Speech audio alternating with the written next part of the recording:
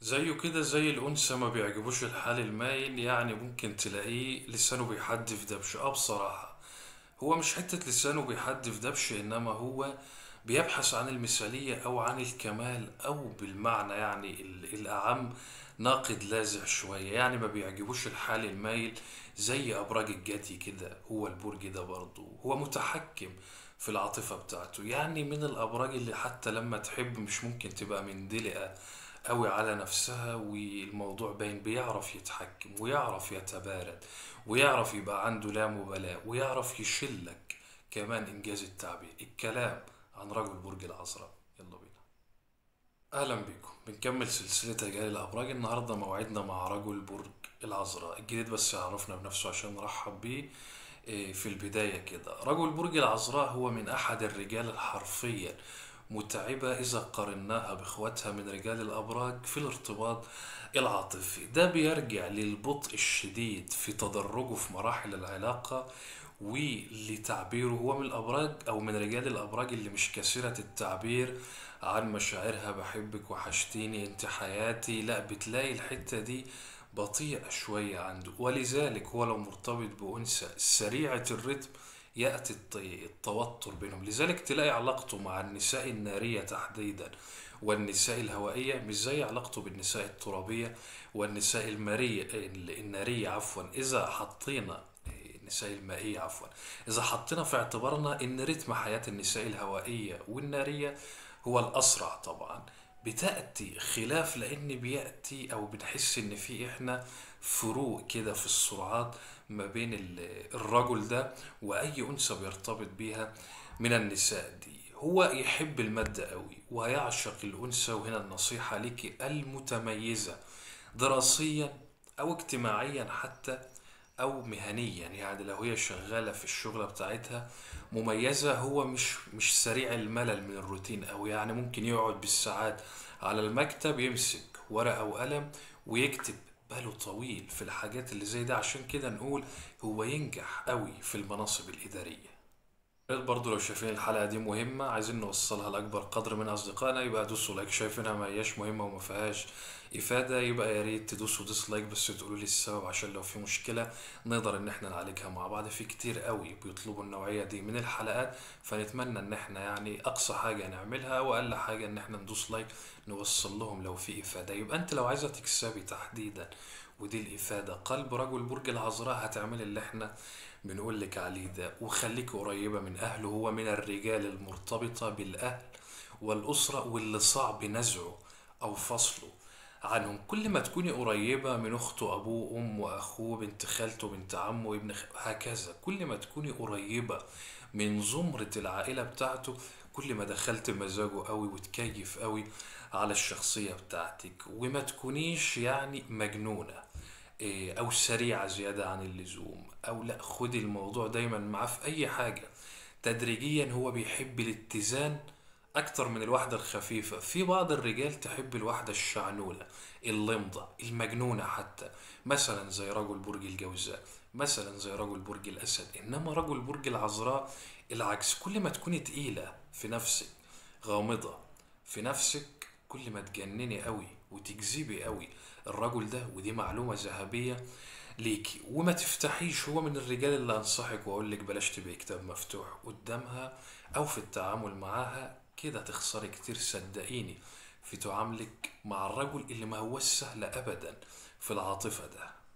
أحيان كتير ما بيعرفش يعبر عن مشاعره وممكن تحس إن هو مش بيحبك بس ما تظلموهوش هي دي طبيعته. في أحيان كتير كمان بيحب يفصل ويبقى مع نفسه ولا يكلم حد ولا حد يكلمه فبرضه ما تظلموهوش ودي طبيعته. هو من الرجال الكتومة مش بيبوح بكل حاجة ومش سهل إن أنت تطلعي من جواه اللي أنت عايزة إن أنت تسمعي فلازم تتعاملي مع الصفات دي كلها وإلا على طول ممكن تتوتر العلاقة بينكم أو تتفكك العلاقة وده طبعا اللي إحنا مش عايزينه. لازم تكوني عارفة شخصية الرجل ده والسكك أو الطرق اللي تقدري إن أنت تحصريه منها. بغير كده هو رجل متعب زي ما أنا قلت في العلاقات العاطفية عامة. هو بعيد عن الأضواء مش هتلاقيه مهووس بالشهرة والأضواء قوي والحتة الاجتماعية عنده.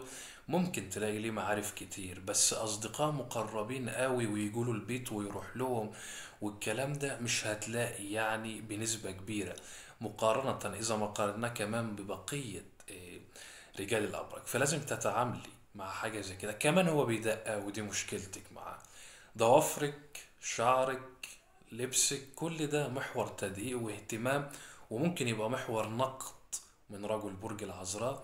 فتقبلي ده. يعني زي ما إحنا بنقول كده اقبليه زي ما هو بقى ما دام انت هتتعاملي معاه أو ما دام زي ما إحنا بنقول انت بتحبيه. آه بيدق آه ممكن يقول لك كلام يوجعك وتيجي تعاتبيه هو مش شايف نفسه إن ما قالش حاجة تزعل. ده من وجهة نظره العادي اللي أنا اتربيت عليه واللي أنا بتعامل بيه وهي دي شخصيتي. لذلك ما تحاوليش إن أنت تغيري كتير من ثوابت ومبادئ رجل برج العذراء لأنك هتفشلي لأنه من الرجال بطبيعة إن هو برج ترابي فهو من الرجال اللي صعب جدا إن هي تغير مبادئها وقناعاتها وثوابتها أو تحديدا. صعب اقناعه عنيد ي- يعتبر أو يصنف من رجال الأبراج العنيدة واللي ساعات بتتربس في حاجة كده وحتى لو هي غلط خلاص مش هنغير. هو ده. يعني رجل برج العذراء عنده في فلسفته هو ده. لا هو كده.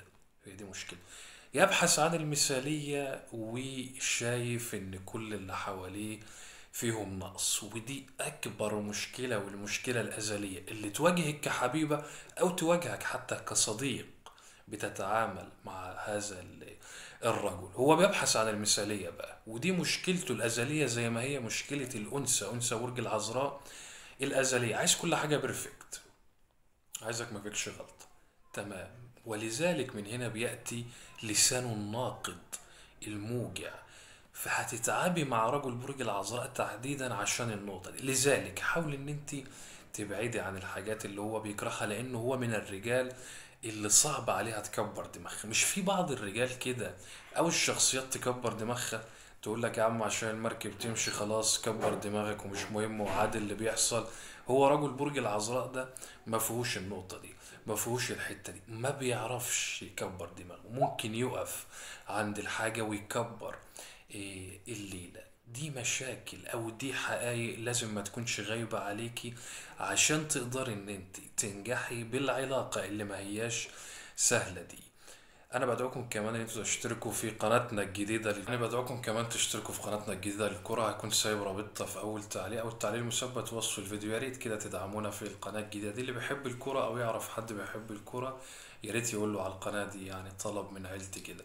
إذا رجل برج العذراء هتتعامل معاه بالسياسة دي. إحنا في حلقة النهاردة قدمنا مفاتيح كتير ومداخل كتير. ما ينفعش ابدا على فكرة إن الرجل ده يكون في حياتك أو بتتعامل معاه وما تكونش ملم بالحاجات اللي هي أساسية. يعني أكتر من 80% من رجال يعني 90% كمان من رجال العذراء هتلاقي الكلام اللي إحنا قلناه في حلقة النهاردة ده موجود في ثوابت ثوابت شخصيته مش هيقدروا إن هم يغيروه. نصيحة لأي حد بيحاول إن هو ينجح في التعامل مع هذا الرجل. اكتبوا لي آرائكم في الحلقة دي أنا بقرأ كل تعليقاتكم وبتعرف كمان عليكم. من خلالها وعندنا لسه حلقة مهمة كمان وعندنا لايف الساعة 9 بتوقيت مصر على الانستجرام وبعده بساعة على الفيسبوك. يا ريت تشتركوا في الروابط دي نجاوب على أسئلتكم عشان أنتوا تبعتوا لي على الخاص وأنا بعتذر إن أنا بتأخر في الرد عليكم برضو في وصف الفيديو أول تعليق وقت وحشوني.